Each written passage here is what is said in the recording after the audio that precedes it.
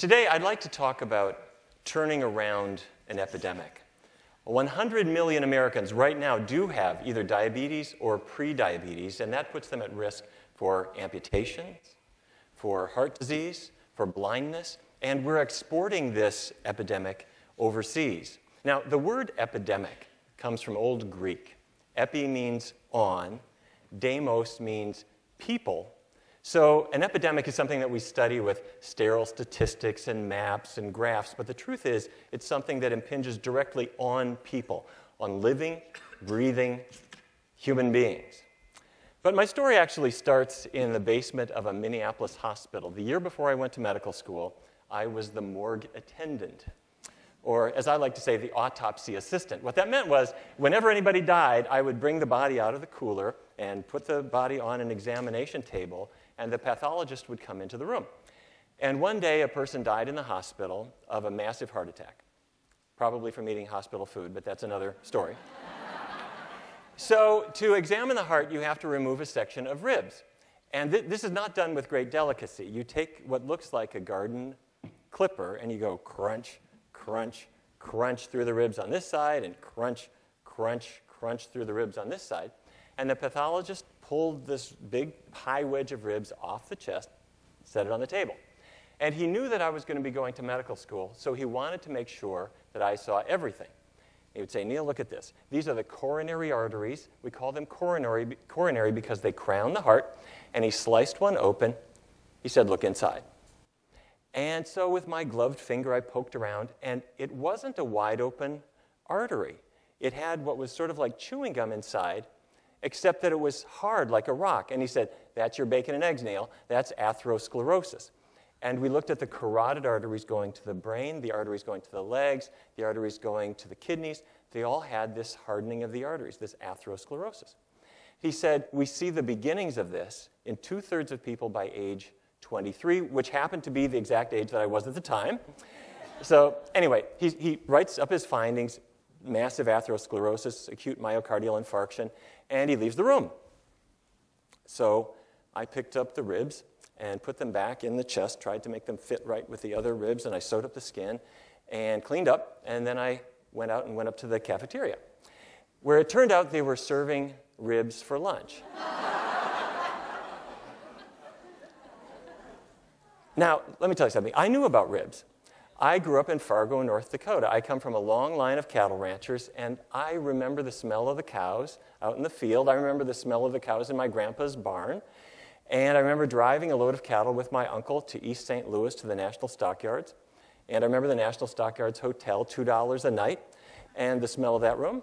And I have to say, every day of my life, it was roast beef, baked potatoes, and corn, except for special occasions when it was roast beef, baked potatoes, and peas.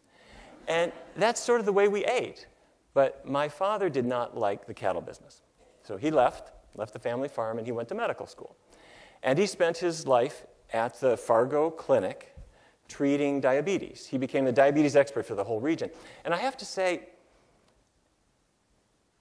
my father really was, was frustrated because patients were given diets that they did not like. What we would say is, or what they would say is, Diabetes is a condition where there's too much sugar in your blood. So don't eat anything that turns to sugar. So don't eat bread, don't eat fruit, don't eat pasta, don't eat rice, don't eat sweet potatoes, don't eat regular potatoes, don't eat beans, don't eat carrots. All these things had to be limited, and while you're at it, cut calories. And that's what people were supposed to adhere to. That gets old by Wednesday. Patients were also given medicines, and they were given needles and instruction on how to stick their fingers and how to inject insulin. And despite all of this, diabetes never got better. It always progressed. And it then became something that we were exporting overseas. And when I got out of medical school, we had more medicines. And I think we had sharper needles. But to tell you the truth, it was the same sort of result. We had unhappy patients, and, and we, we never, ever cured this disease. It never turned around. It was always considered a progressive disease.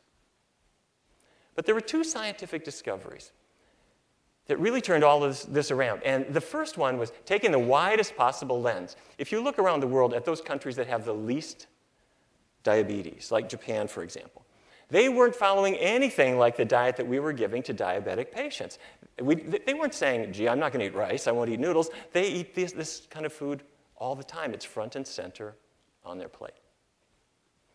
And the second discovery came from looking inside the cell, especially the muscle cell.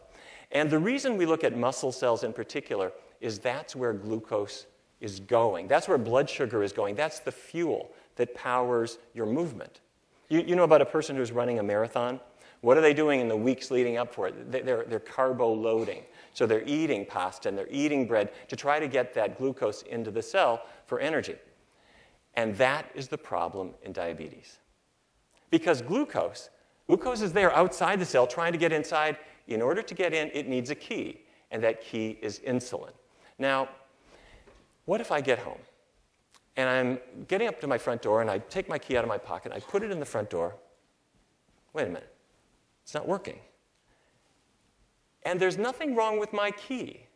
But I look in the lock, and while I was gone, somebody put chewing gum in my lock. So what am I going to do? Crawl in and out the, the window? No, I'm going to clean out the lock. Well, when a person has diabetes, their insulin key is not working. Why would that be? Why could insulin not signal this? What's supposed to happen is the glucose is supposed to enter into the cell. And glucose is the key that makes that happen. But the reason it doesn't happen, it's not that there's chewing gum inside the cell. What there is is fat. Fat, little globules of fat. Now, I have to say, doctors hate words like fat. It's got one syllable. So we want to call it intramyocellular lipid. Um, Intra means inside, myo means muscle, cellular means cellular. Lip, lipid, lipid means fat. Intramyocellular lipid is fat inside your muscle cells, and that is what interferes with insulin's ability to work like a key to signal glucose coming in. Now, in 2003, the National Institutes of Health gave my research team a grant and said, let's test something completely different instead of limiting breads and all of these kinds of things, what if, if fat is the issue, what if we have a diet that has effectively no fat in it? Well, where does fat come from? It comes from two sources animal products, animal fat, and vegetable oils. So we brought in 99 people and we asked them to do two things to really eat a bounty of food, not worrying about quantity. We're not counting calories here. We are not counting carb grams or anything like that. What we're doing instead is we're setting the animal product aside, keeping the vegetable oils low. Very simple. Now, one of our participants was a man named Vance, and Vance's father was dead by age 30. Vance was 31 when he was diagnosed with diabetes. He was in his late 30s when he came to see us. And he said, This is not hard. Unlike every other diet he'd been on, we didn't care how many carbs he ate or how many calories or how many portions. If he was having chili, not a meat chili, it would be a bean chili, chunky vegetable chili. If he was having spaghetti, instead of a meat topping, it would be topped with artichoke hearts and wild mushrooms and chunky tomato sauce and that kind of thing. Very, very easy. Over a course of about a year, he lost 60 pounds. His blood sugar came down and down and down. And one day his doctor sat him down and said, Vance, I know you've had family members die of this disease, but as I look at your blood tests, you don't have it anymore. And can you imagine what that feels like to have family members who felt this was absolutely a one way street and to have this disease just turn around? And when I asked Vance's permission to tell you about his story, he said, Make sure you tell everybody that my erectile dysfunction went away too. Okay, write that down. Okay. So we published our findings in peer reviewed journals. The American Diabetes Association now cites it and accepts, it, accepts this as an effective approach.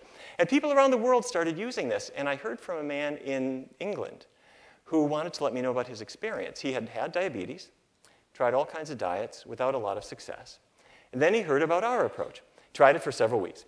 Went to the doctor, the doctor drew a number of blood tests. And he got home, the phone rang. It's the doctor's office. Could you come back right now.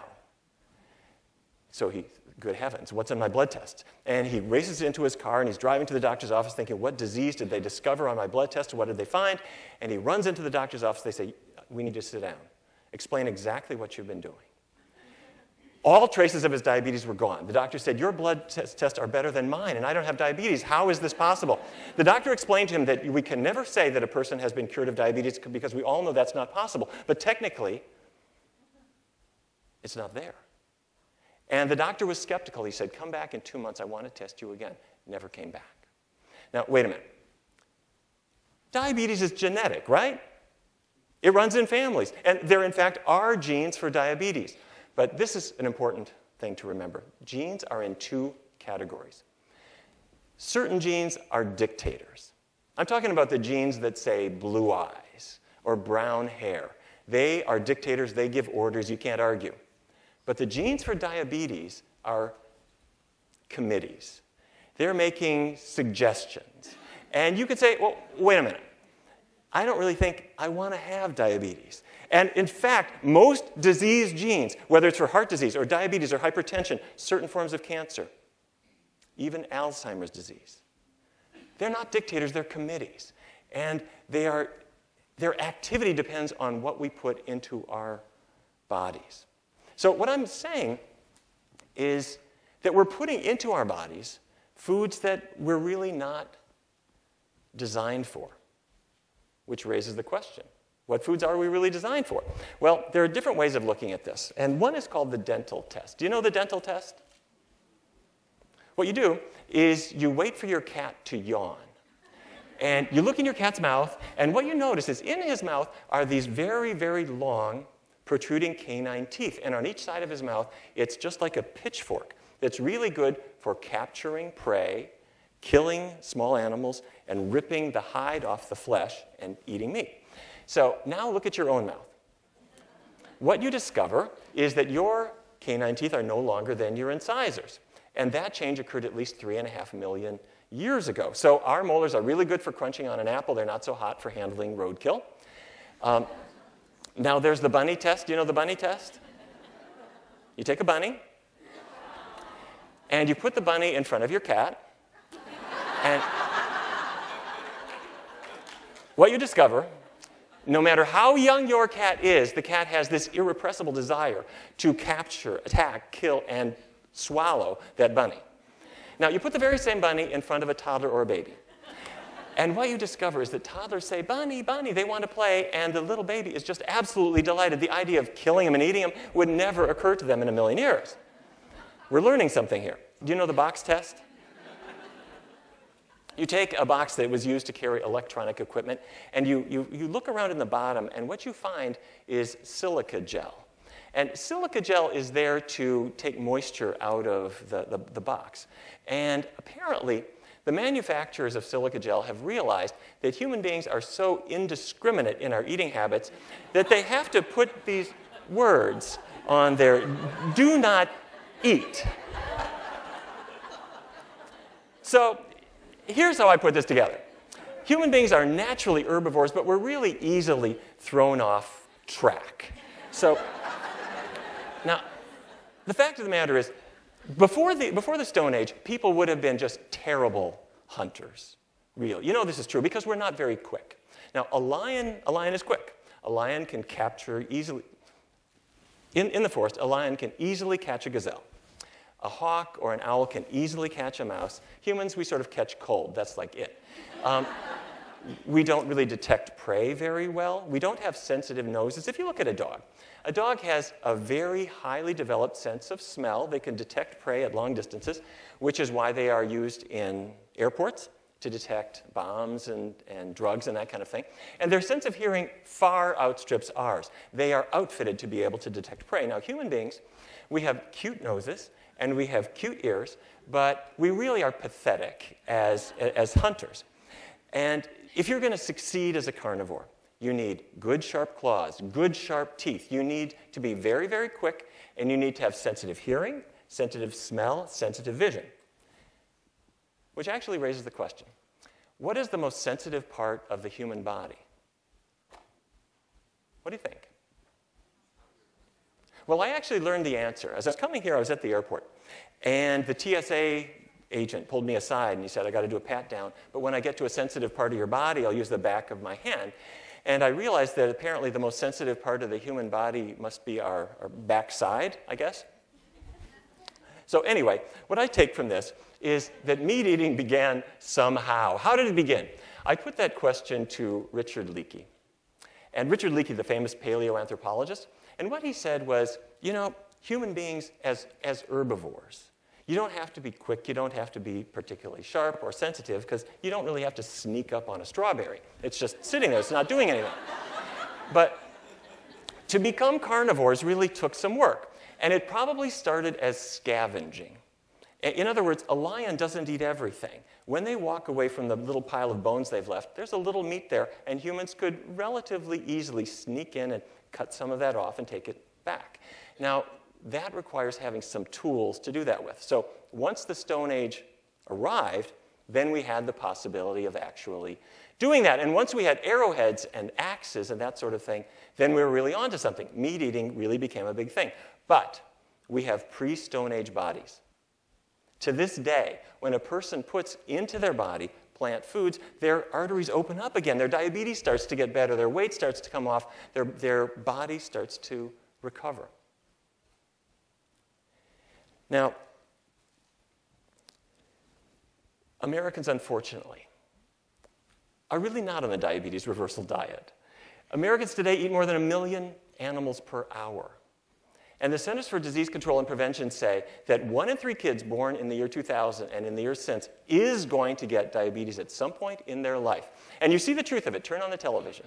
Half the commercials are for burgers, chicken wings, snack foods. The other half of the commercials are for medicines to undo the effects of all the foods that we're eating. So that's where we are. And what if it happened that instead of 100 million Americans having diabetes or prediabetes, what if all 100 million have diabetes itself, or more people than that, and all of them need medicines and testing and hospital care and so forth? Financially, it's a disaster. But personally, the personal cost is just incalculable. Now, I think we're starting to turn the corner. My family has promoted meat for generation after generation after generation. However, in 2004, we reached a peak at 201.5 pounds of meat. That's what the average person consumed in that year. And in the subsequent years, it's dropped and dropped and dropped. We're now under 190, and hopefully that downward trend will continue. But to this day, doctors, dietitians, nurses, they will say diabetes is a one way street, it never goes away. But that was before we looked around the world and saw, you know, there are dietary patterns that are more healthful. And that was before we realized that looking inside the cell, we can understand how this occurs and we can understand how to reverse this process. And it was before we realized that patients will make bigger changes than we gave them credit for. So, families like mine that have been selling meat for generations, instead, maybe we can sell carrots and asparagus and sweet potatoes and beans. And hopefully, the autopsy room will be more neglected than ever because people are going to live longer and they're going to live better. And maybe the hospital cafeteria instead of serving ribs, could serve a bounty of healthful foods. And instead of studying epidemics, maybe we can celebrate a resurgence of health. Thank you very much.